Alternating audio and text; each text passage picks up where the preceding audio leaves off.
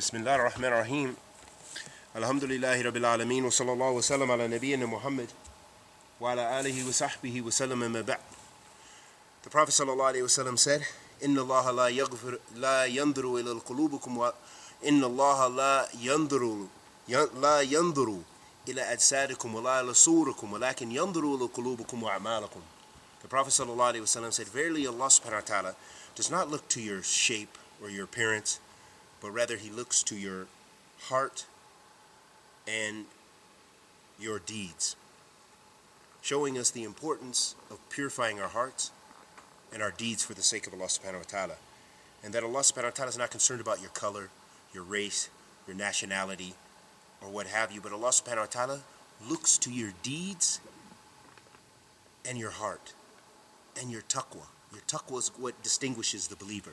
And may Allah subhanahu wa ta'ala bless us with taqwa Allah Azza wa Jal and bless us with uh, doing His commands and avoiding His prohibitions. Wa sallallahu wa sallam ala nabiyyina Muhammad wa ala alihi wa sahbihi wa sallam.